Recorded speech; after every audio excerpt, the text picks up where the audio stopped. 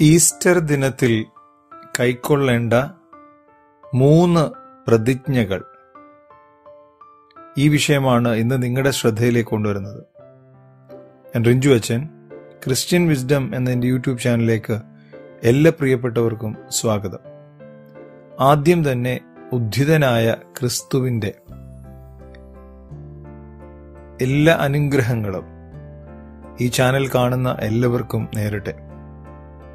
അൻപത് ദിവസം അനുഗ്രഹകരമായി നൊയമ്പ് നോക്കിയവരാണ് എന്റെ സ്നേഹിതരായിരിക്കുന്ന നിങ്ങൾ ഓരോരുത്തരും എന്ന വിശ്വാസമാണ് എനിക്കുള്ളത്. ആ വിശ്വാസത്തിൽ നിന്നുകൊണ്ട് തന്നെയാണ് ഈ വീഡിയോ നിങ്ങളുമായി പങ്കുവയ്ക്കാൻ ആഗ്രഹിക്കുന്നത്. യാഥാർത്ഥ്യം ഉൾക്കൊണ്ടുകൊണ്ട് തന്നെ യാമനമസ്കാരങ്ങളും അതുപോലെ തന്നെ ഭക്ഷണ ക്രമീകരണങ്ങളും ഒക്കെ നോക്കിയവരാണ് എന്റെ പ്രിയപ്പെട്ട എല്ലാവരും. അതുകൊണ്ട് തന്നെ ധൈര്യസമേതം ഈ വിഷയം നിങ്ങളോട് പങ്കുവയ്ക്കണം എന്ന് ആഗ്രഹിച്ചു. ഈ മൂന്ന് തീരുമാനങ്ങളും വളരെയേറെ പ്രസക്തമാണ്. അതുകൊണ്ട് ഈ വീഡിയോ അവസാനം വരെ കാണാൻ ഇടയാകട്ടെ എന്ന് പ്രാർത്ഥിക്കുന്നു.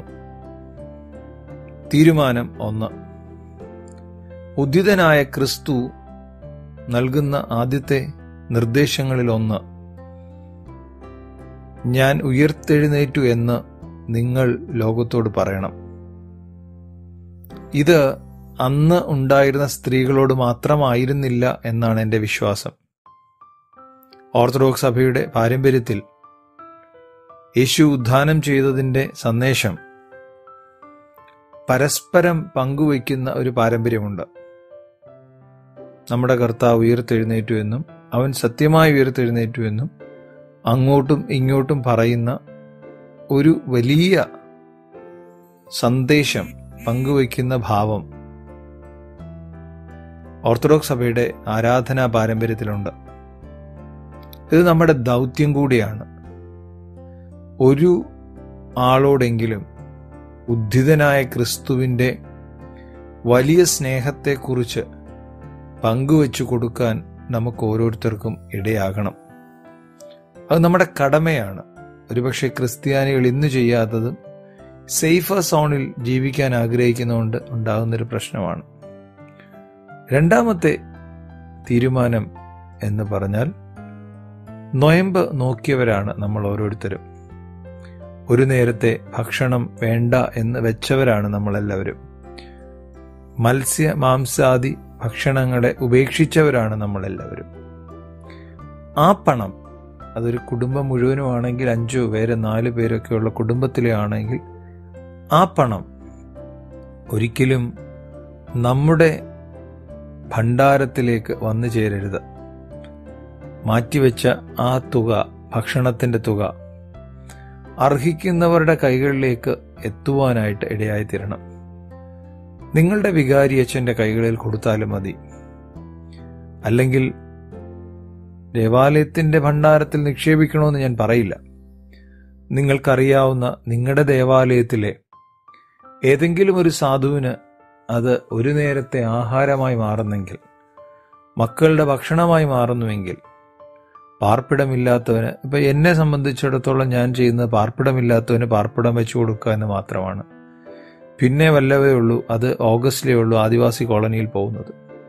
അതുകൊണ്ട് തന്നെ നമ്മൾ ഓരോരുത്തരും ചെറുതാകട്ടെ വലുതാകട്ടെ നമ്മളൊരു തുക കണക്ക് കൂട്ടി നോക്കി ആ തുക മാറ്റിവെച്ച് സൽക്കർമ്മത്തിന് വേണ്ടി മാറ്റിവെക്കണം.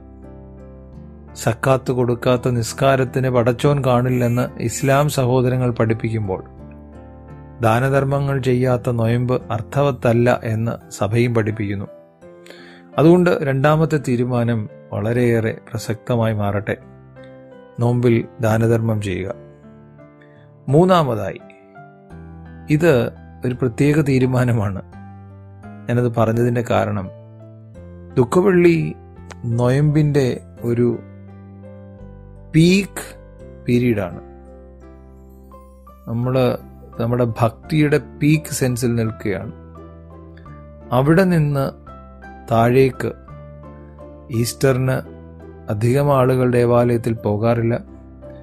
ഈസ്റ്റർ കഴിഞ്ഞാൽ രണ്ട് മൂന്നാഴ്ചത്തേക്ക് ദേവാലയങ്ങളിൽ വിശ്വാസികളുടെ എണ്ണം കുറവായിരിക്കും.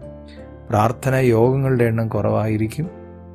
തീരുമാനമെടുക്കേണ്ടത് ഞാൻ അറ്റൈൻ ചെയ്ത ആ സ്പിരിച്വാലിറ്റിയുടെ ലെവൽ താണു പോകാതെ നിലനിർത്തും എന്ന് പ്രതിജ്ഞ എടുക്കാൻ കഴിയണം. സ്പിരിച്വാലിറ്റിയുടെ ലെവൽ നിങ്ങൾ ഭക്ഷണ ക്രമീകരണങ്ങളിലൊക്കെ നിങ്ങളുടേതായ വ്യത്യാസം വരുത്തുമ്പോൾ സ്പിരിച്വാലിറ്റിയുടെ ലെവൽ നഷ്ടപ്പെട്ടു പോകാതിരിക്കാൻ ഇടയായി തീരണം അതൊരു പ്രതിജ്ഞ എടുക്കണം. ഈ വിഷയം കൂടുതൽ പഠിക്കുവാൻ ഇടയാകട്ടെ എന്ന് ആശംസിച്ചുകൊണ്ട് നിർത്തുന്നു. ദൈവം അനുഗ്രഹിക്കട്ടെ.